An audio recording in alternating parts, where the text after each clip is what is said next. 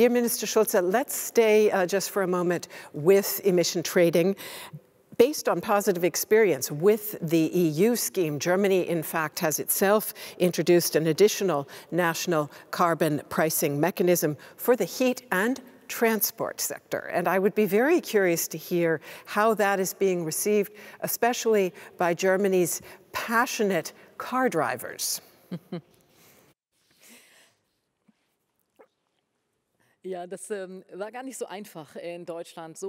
yes, indeed, it was not not easy at all to introduce this uh, system in Germany. When I started doing this, uh, there was a lot of uh, resistance. Uh, I was told I'm introducing a, a plan economy and uh, reducing the economic ambitions, but it is not at all the case. Uh, I wanted to enhance climate friendliness, and what we did was we explained it exactly that we started to introduce this um, this price system very slowly, so that everybody was able to adopt. because um, you need to have an alternative. If I reduce costs for um, uh, train uh, journey journeys and increase prices for flight journeys, then everybody needs to know that these prices will increase annually, step by step, but uh, we have uh, compensations for that. We have increased uh, um, other costs so that everybody can afford these tickets. It cannot be possible that only an elite can afford these uh, tickets. Uh, everybody needs to be able to participate because energy transition is something that everybody needs to be able to contribute to. And I think we were able to achieve Vielen this Dank. with our um. And let me go back now to Minister Trevelyan. You mentioned the Energy Transition Council. Svenja Schulze just talked about the need to make the transition inclusive and just. So I wonder if you can tell us a little bit more about how you think that a coal phase out can be accompanied by a just transition. How do we not make this uh, essentially burden those who are already perhaps uh, in precarious social situations? Such an important question. Um, the Powering Past Coal Alliance has established a specific task force on just transition, uh, which draws on the expertise from partners such as the Just Transition Centre, which was established by the ITUC. The Energy Transition Council brings together the global political, financial, and technical leadership to accelerate the transition from coal to clean power. But importantly, organizations such as the International Labour Organization and the multilateral development banks are also on the council. And this council will always pay particular attention to the social and financial challenges facing this energy transition and look to work with its partners to create a, a stronger package of support to fully consider just transition as part of that green eco- economic recovery, both from the pandemic and as we transition in the longer term. Thank you very much. And I will go back to uh, Minister Schulze now with a uh, two part question, as it were, on phase out. So, coal phase out and nuclear phase out. Uh, we had an audience question come in just now in regard to Minister Trevelyan's statement that the COP26 presidency, the UK, will be looking to encourage countries to get out of coal by 2030. That, of course, is not uh, the target date that has been set in Germany, but there are indications that the transformation, the phase out, may actually be happening faster. So, how do you see that? And then I want to come to nuclear. Hmm. Ja, ich äh, denke, dass äh, das auch in Deutschland schneller gehen Yes, indeed. I do think that it will happen faster in Germany with uh, the law uh, on uh, um, uh, coal electricity. We always uh, look at whether we would be able to um, do it faster because we phase out out of coal energy and nuclear energy, and we have to focus completely on renewable energies.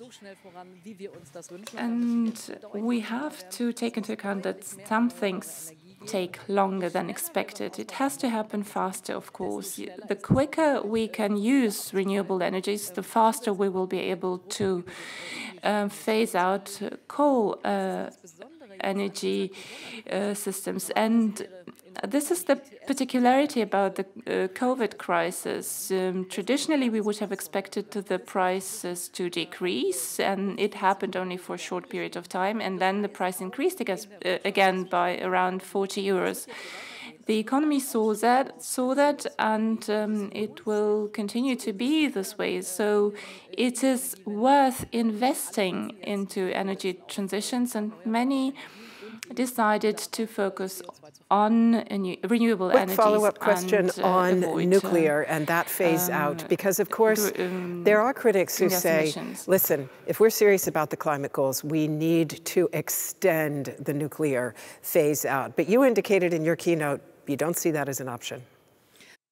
Nein, wir sehen dass äh, nicht, dass Atomenergie noch irgendeine Perspektive hat. Wir haben No, indeed, we don't see any perspectives for nuclear energy. 45% uh, of energy uh, were gained in Germany uh, last year from renewable energy sources and uh, electricity from nuclear power stations. This is not our future. They're not flexible enough. They can be they cannot compete with uh, very efficient renewable energy sources.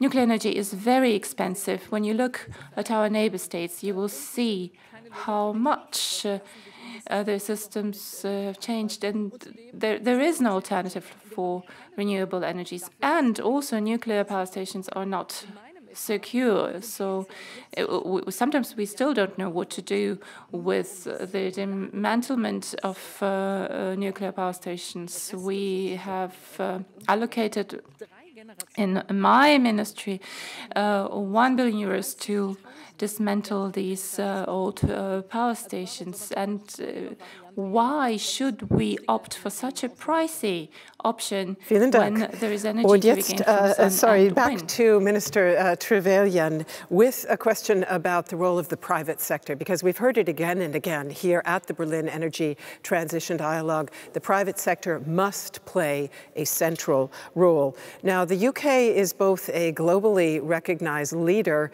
in finance and as COP26 president has a COP26 finance campaign. So what are you aiming to achieve there and how will you work together with the private sector in this energy transition? Thank you, and thank you for recognising uh, that this is such an important part of the COP26 uh, framework. The goal of our finance campaign is firstly to raise the ambition of public and private finance to achieve the $100 billion uh, goal that I mentioned earlier, and secondly to shift the trillions in global markets to finance the transition to a net zero and resilient future. Um, the Energy Transitions campaign is focused on accelerating the decarbonisation of the power sector by phasing out coal, as we've been discussing, uh, and improving the international offer of support to developing countries to ensure that clean power is the most attractive option for their new power generation. So these campaigns are working very closely together to mobilise the finance needed to scale up clean energy projects and grid infrastructure, uh, to support a just transition, as we've discussed, uh, and to bring about an end to coal financing. So we're working to strengthen the dialogue between governments and investors particularly in emerging markets and developing countries, and really to build confidence in the development of policy and in regulation, which can then bring down costs and draw in that greater finance. And I would also, if I may, urge financial institutions to join the Race to Zero, uh, which is one of the uh, international campaigns running for the private sector, uh, setting robust net zero targets in their businesses and demonstrate how major investors will finance the green transition. Thank you very much uh, for that, Minister Trevelyan. We have about uh, one and a half minutes left in our session, and so I don't uh, want to let uh, uh, our ministers go before I ask one more question about the EU and the COP, uh, dear Minister Schulze.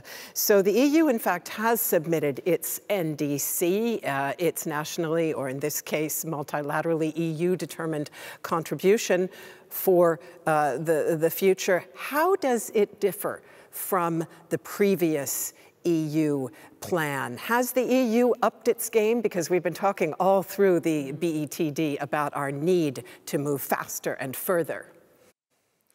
Ja, wir haben auf der europäischen Ebene sehr ehrgeizig jetzt gehandelt. Yes, indeed. We acted much faster on European level because we have to think that during the pandemic, when we had to deal with so many other issues, we decided during the pandemic that we will increase our goals from 40% to at least minus 55%. And this is a decisive step that we took with other heads of states and governments,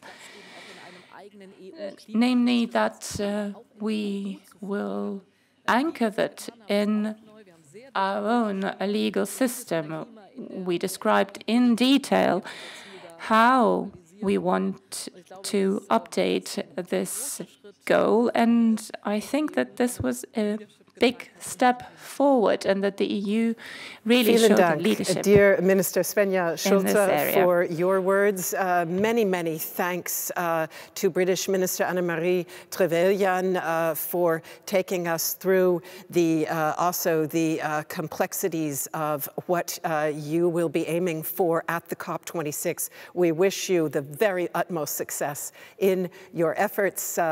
it has been very interesting to hear two powerful voices for the energy transition to powerful women policymakers exchanging views on this subject.